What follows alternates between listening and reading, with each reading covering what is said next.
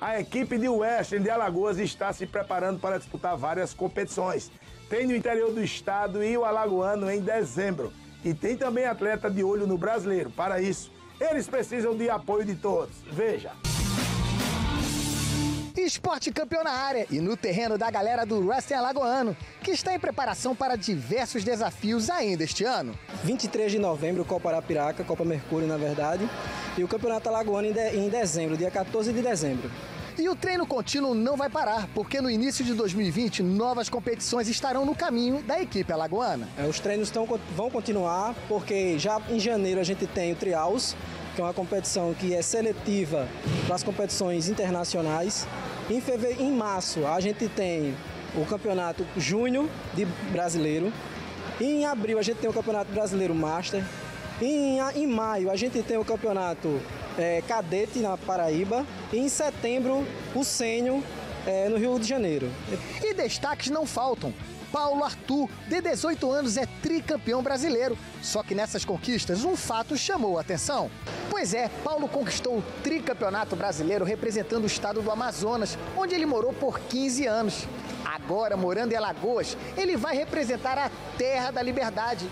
E outro detalhe, Paulo é alagoano, nascido em Maceió.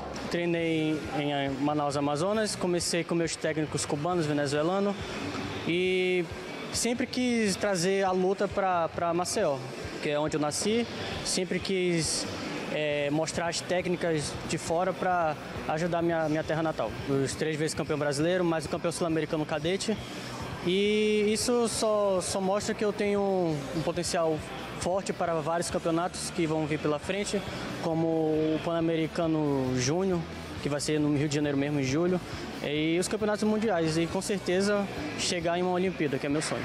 E quem quiser ajudar o atleta que já mostrou capacidade a nível nacional, foi lançada uma vaquinha virtual. Bom, pode me ajudar pela, pela, vaquinha, pode me seguir pelo, pelo Instagram, que é Paulo Arthur F underline listic 99609 3971 DDD 82.